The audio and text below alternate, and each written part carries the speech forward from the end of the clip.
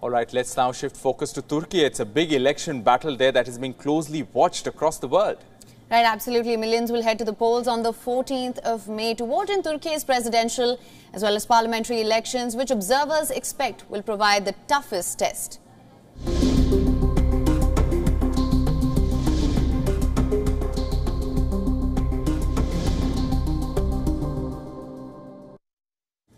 These elections for President Erdogan's 20-year period as the country's leader, it's the biggest challenge for him. That's what many are saying. Sunday's presidential and parliamentary ballot will pass judgment on Turkey's longest-serving leader and the social transformation will be spearheaded by his Islamic-rooted AKP party. So that's the biggest test coming for Erdogan. The president is pulling out all stops in his campaign trail in face of an emboldened opposition as he seeks to continue on his two-decade-old rule. Milleti tahrik ederek buna güçleri yetilerle beraber bu milletin evlatlarıyla beraber coşacak. Bakın Right. Polls show Erdogan's main challenger is opposition leader Kemal Kılıçdaroğlu. Kılıçdaroğlu has portrayed his six-party alliance as a force for democratic change. His alliance includes liberals, nationalists and religious conservatives. They vow to abandon the presidential system, which Erdogan introduced after winning a hard-fought constitutional referendum in 2017. Other promises here include defending women's rights and changing the economic system, which it has called orthodox.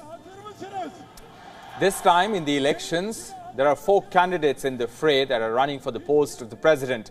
These include a right-wing leader, Sinan Ogan, and centrist leader, Muharrem İnce, apart from Erdogan and Kılıçdaroğlu. These leaders need to secure more than 50% of the total votes in order to emerge victorious. If they fail in doing so, then the result will be decided through a runoff.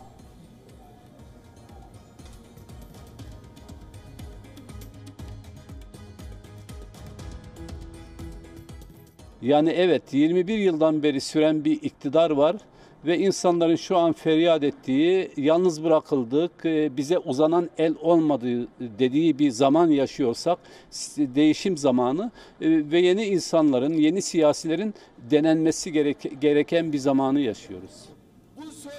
And this time, Erdogan and his party, called the Justice and Development Party, they face a dire challenge. This comes as Erdogan faces blame over a deteriorating economy as well as lax response to an earthquake which killed over 50,000 people. But the president too has been tenacious. He's made multiple visits to the sites affected by the catastrophe. Erdogan has peppered the election run-up with celebrations of several industrial milestones. And these include launching the country's first electric car, an indigenous assault ship, a nuclear power plant, among others.